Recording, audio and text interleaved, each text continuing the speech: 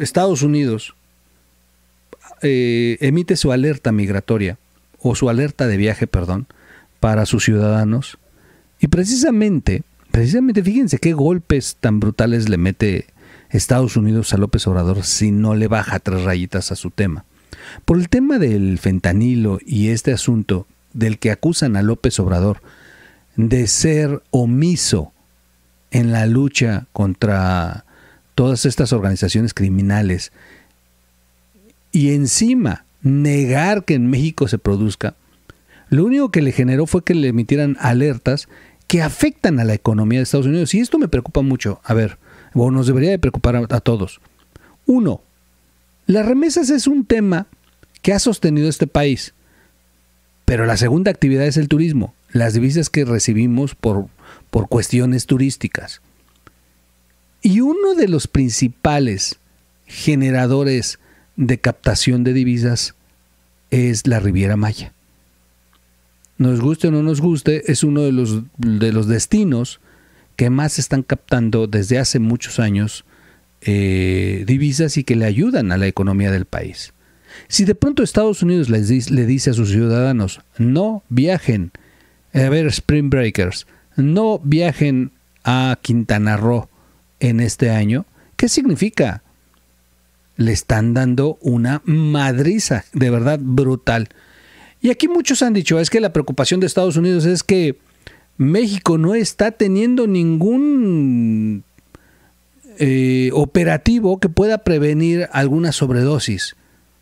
A diferencia en Estados Unidos que están que están eh, invirtiendo en el tema de, de este medicamento que puede contra, contrarrestar la sobredosis del fentanilo y que se lo han, bueno, lo, casi casi lo están poniendo en, en, edificios públicos con un vidrio y rompas aquí en caso de emergencia. La verdad es que sí le han invertido al tema de que los bomberos, patrullas, equipos de emergencia, hospitales, eh, tengan este, este medicamento que sirve para revertir. Y les preocupa que en México no. Y les preocupa que eh, los chicos que vienen al Spring Baker, que son la gran mayoría menores de edad, terminen consumiendo alguna sustancia que esté alterada con fentanilo y que finalmente pueda provocarles la muerte y que en México no se tenga estos operativos. Y esto sí es para preocuparse y esto sí debería de ser una actividad que debería estar haciendo México, no solamente para los turistas, en general deberíamos de tener ya en los hospitales estos medicamentos, principalmente en las zonas donde se están registrando consumos de fentanilo en nuestro país, aunque López Obrador lo niegue. Pero bueno, si no hay paracetamol en las, en las clínicas del sector público, imagínense si va a haber este medicamento que por cierto es caro. Es caro en México, aunque en Estados Unidos cuesta dos dólares. Sin embargo, eh, y a ver, dato interesante, Monreal hace unos, unos dos meses envió una iniciativa para que este medicamento dejara de ser un medicamento prohibido en México. Y bueno, ni siquiera se la permitieron pasar al Pleno. Esto es muy interesante, ¿eh? estamos hablando de México. ¿Quién le ordena a los legisladores Ahora también, ¿dónde está la oposición? ¿Por qué no se sumaron a este clamor? Hay mexicanos, ciudadanos mexicanos que están consumiendo este, esta sustancia, el fentanilo, y que pueden estar expuestos a la sobredosis y que finalmente eh, este medicamento los podría salvar. Bueno, pues regresando al tema, Estados Unidos emite esta alerta pero la realidad es que lo que le está haciendo también Estados Unidos es haciéndole una manita de puerco a México por culpa de López Obrador para que la derrama económica que año con año dejan los Spring Breakers en la Riviera Maya sea, sea menor este año y eso le afecte a, eh, a López Obrador. No está muy alejada la decisión que tomaron en West Fargo de suspender las remesas para el Banco Bienestar y ya no utilizar la banca de, López Obrador, que lo veremos en otro video. han estado dándose incidentes que a primera luz tienen mucha justificación porque lo están haciendo muy justificado, pero que también tienen un golpe político para López Obrador.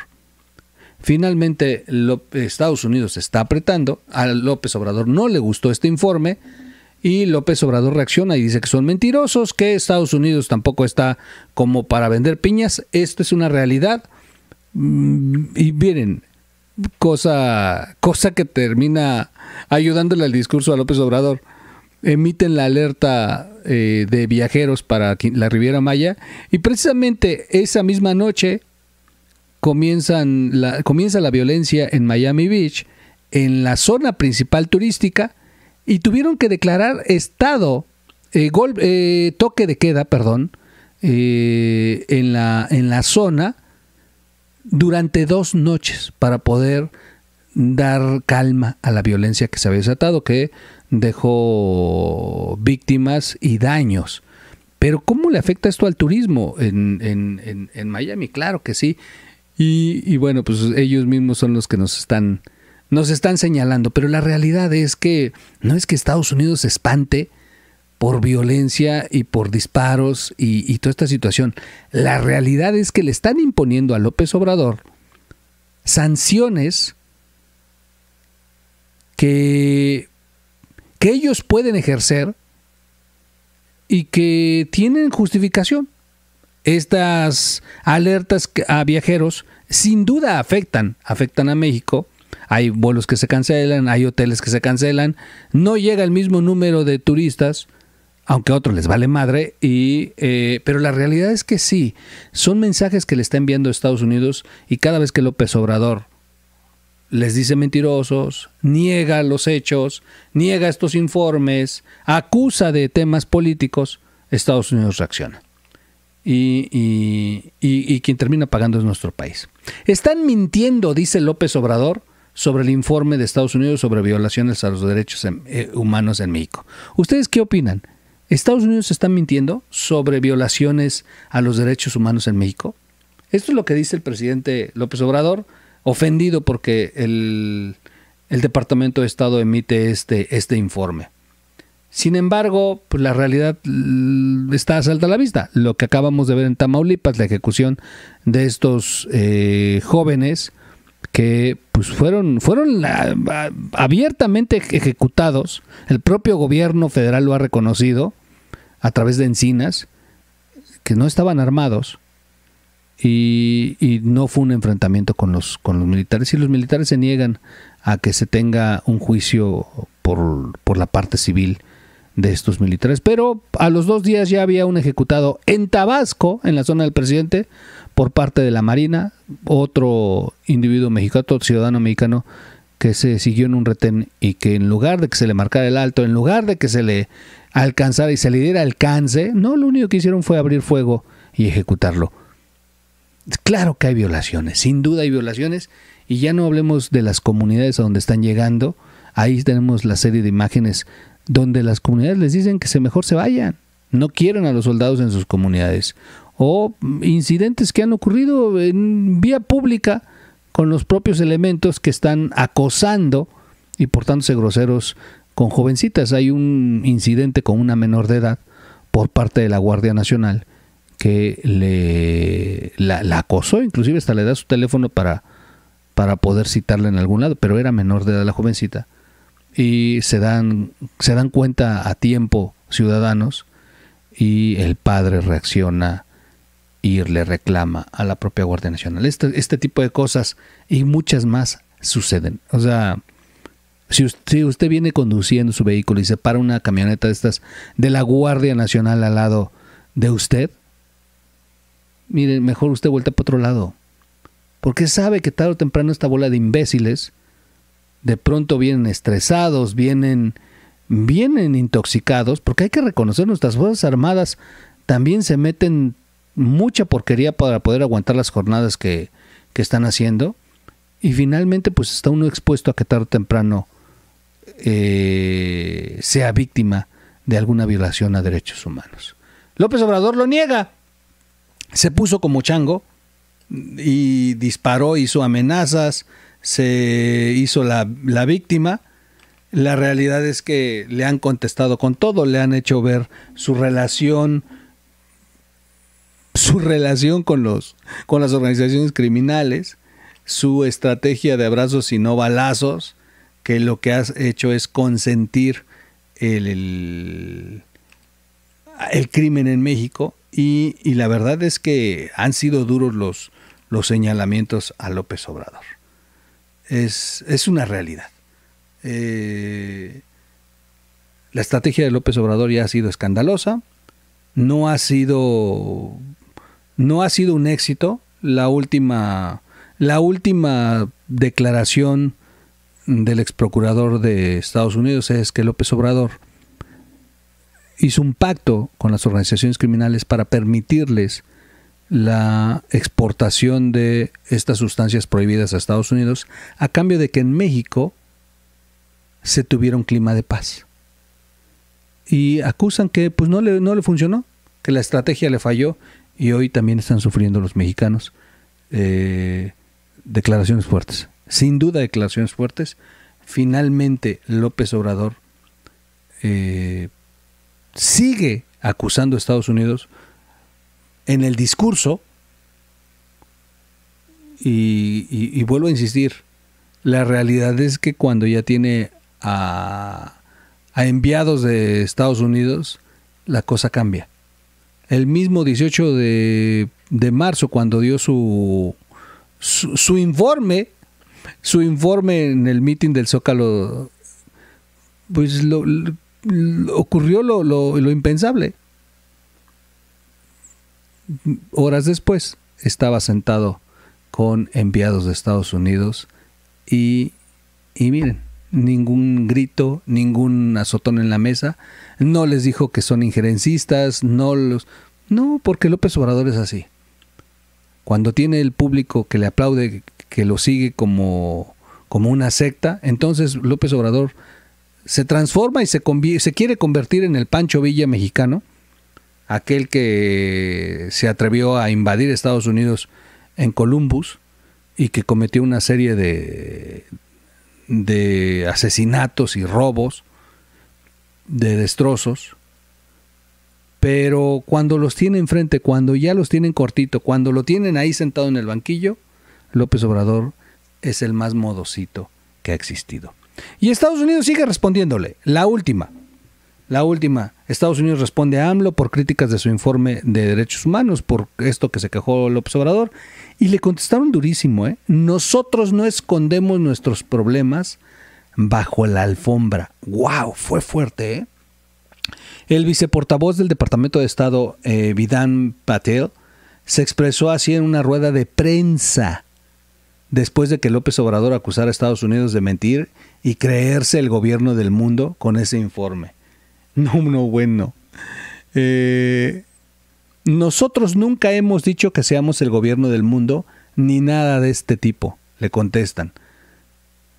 Quien recordó, bueno, Patel le recordó que el Departamento de Estado está obligado a elaborar cada año un documento para el Congreso estadounidense el viceportavoz afirmó que la participación de miembros de la policía, del ejército y de otras instituciones en serios actos de corrupción y en asesinatos arbitrarios suponen un reto para México y por eso aparece en el informe. Pero fue fuerte esta frase. ¿eh? Nosotros nunca hemos sugerido que no tengamos nuestros propios retos internos, prosiguió Patel, el vocero del Departamento de Estado, y eh, el funcionario reivindicó que Estados Unidos ha trabajado duramente en décadas para fortalecer el respeto de los derechos humanos. Bueno, pues sigue, sigue López Obrador eh, peleándose. Vuelvo a insistir, para López Obrador es una estrategia. Busca que sea una estrategia como lo que utiliza Cuba para poder justificar, para poder evitar que su pueblo, que este pueblo que sí ya despertó, esta parte de los cubanos que saben que los, les han mentido y que los han saqueado, eh, pues, pues han despertado, pero hay una, iba a decir otra cosa, pero hay una, un segmento muy grande de cubanos que todavía siguen creyendo en el régimen y que necesitan que los alimenten, que los alimenten con estos discursos, con estos con estos actos de fe. Y de pronto Cuba Cuba si tienes hambre, en Cuba si tienes hambre, en Cuba si no te alcanza, si tienes que hacer fila, si las cosas están carísimas y solamente te tocan dos bultos de azúcar, este carne dos veces al mes y eso si tuviste suerte y mm, todo lo que hemos visto en las filas, bueno, lo justifican diciéndoles el bloqueo es el que nos tiene así. El imperialismo yanqui es el que te tiene así. Ahí hay un culpable porque nos condenaron al hambre, a sufrir. Pero gran parte de cubanos saben que esto ya no funciona, despertaron y se dieron cuenta que solamente lo utilizan para seguir mintiendo, para seguir saqueando, para seguir sometiendo a la isla. López Obrador quisiera que de pronto México fuera Cuba, pero vuelvo a insistir, no estamos en una isla, ni tenemos el tamaño de Cuba. Y con todo respeto, México, México tiene, tiene una grandeza con la que no ha podido López Obrador. No le va a funcionar este discurso. Sin embargo, sí afecta. Sí afecta porque Estados Unidos sigue, sigue apretando, como este tema de la alerta de viajeros, y que aparte no está tan descabellada.